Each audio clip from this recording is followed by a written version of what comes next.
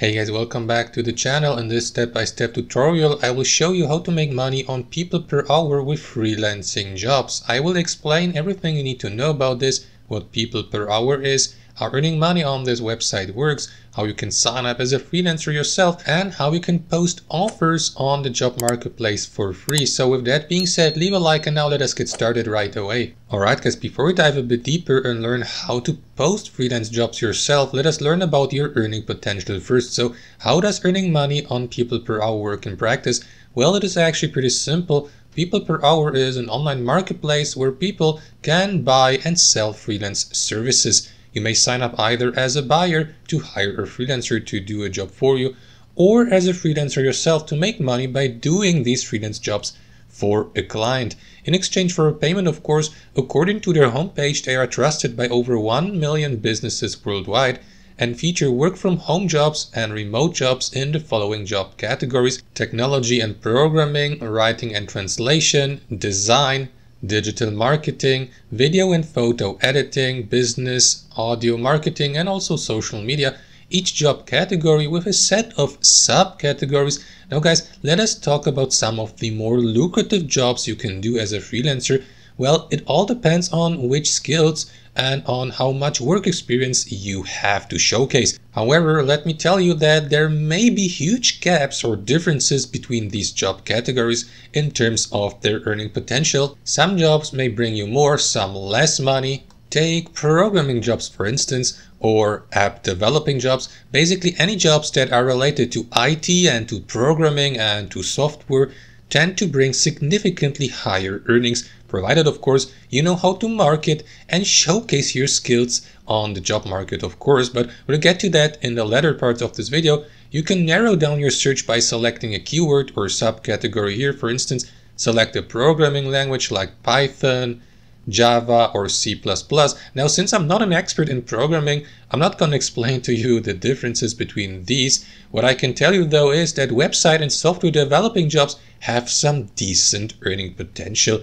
A higher one than transcription or logo designing jobs, for example. Take C++ programming services for the sake of this tutorial.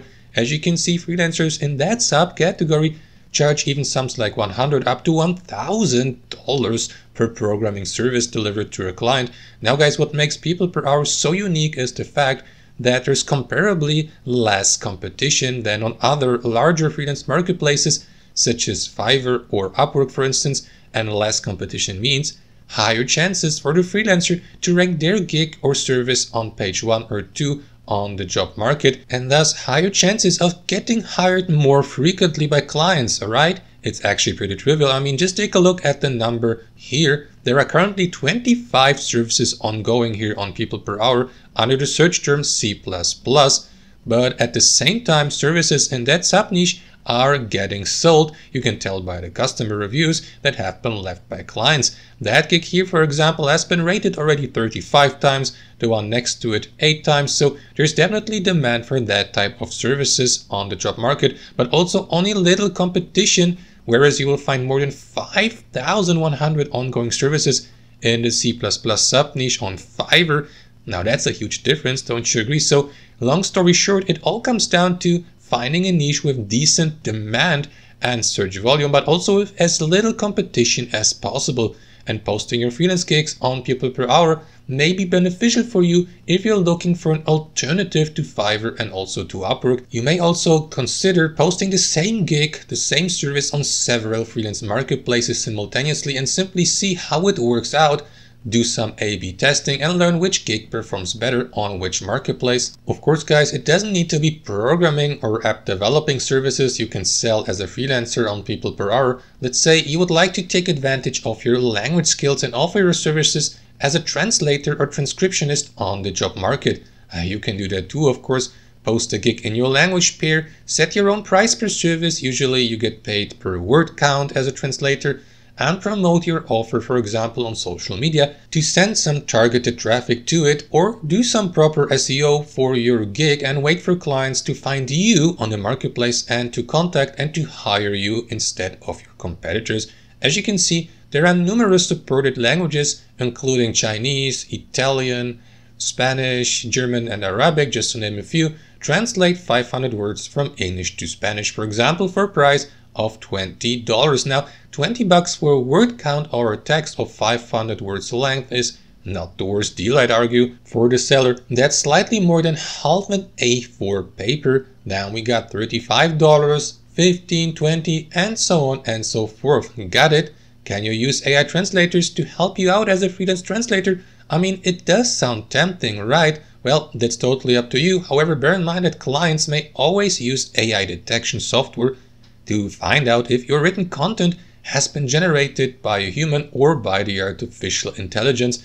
And if they find out, your reputation on the job market as a seller may get damaged, unfortunately. AI translators usually don't translate with 100% accuracy, guys. Take that into consideration too. So my recommendation for you would be to utilize these AI translators only as a support and to always do your own original work. That applies actually to all freelance job categories. Alright, so now let me show you how you can join PeoplePerHour as a freelancer and publish a couple of your own freelance gigs on the market. You can sign up entirely free of charge, guys. There are no sign up or monthly subscription fees.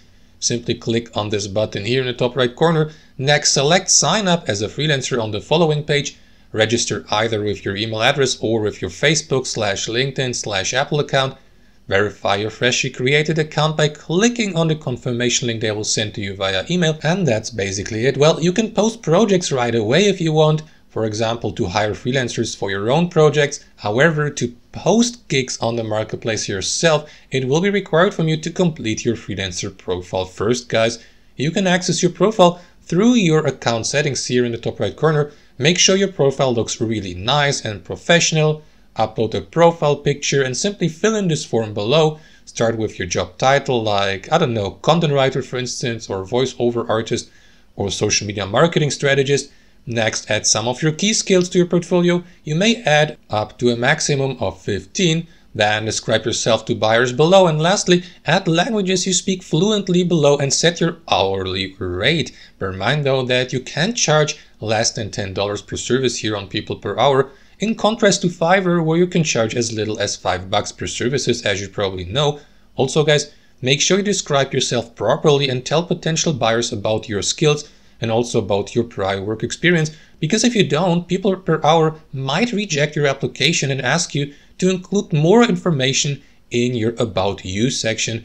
Once that's done, they'll review your application. This may take up to 7 working days if you sign up for free New arrivals are also given the opportunity to speed the reviewing process up for a one-time fee of $13. Approval within one working day, so how you handle that is totally up to you. As you can see, you can't post any offers and sell any services yourself as a freelancer on the marketplace until they haven't approved your application.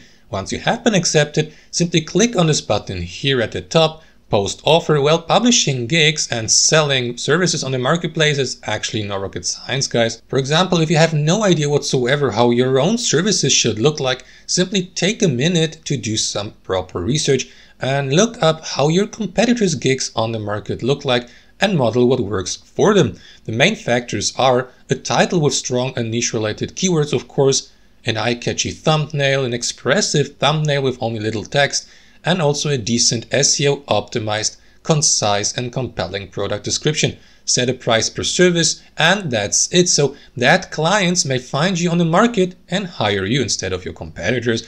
Alternatively, you may for example select search for projects here at the top and next browse through the list of ongoing projects to apply for directly and manually. Like that one here for instance, create a simple responsive accommodation landing page for a price of $32 if you have, for example, some expertise in building landing pages with website building tools such as Wix or Systeme.io. Bear in mind though that applying manually for these projects costs so-called proposals. Members can send up to 15 proposals for free per month. Additional credits can be purchased too once your free proposals per month has been used. And lastly, guys, as I said earlier, there are no sign-up fees and no monthly subscription fees. You can even post offers for free as a freelancer. However, PeoplePerHour charges freelancer a commission fee based on their earnings. For instance, 20% on lifetime billings per buyer of services below 250 British pound and lower service fees for higher earnings like 7.5 and 3.5%. So basically you might lose even up to 20% of your earnings, which is a lot in my opinion. On the other end though, they don't charge any subscription fees, so that's a plus, alright? Alternatively, you may work on a 0% commission by simply promoting your profile online and by referring new clients to PeoplePerHour. Plus, your referrals may receive a welcome bonus of 30 British pounds for signing up through your invitation too. Got it? So I'd say we call it a day here guys. Hope you enjoyed the video and I'll see you next time on our channel.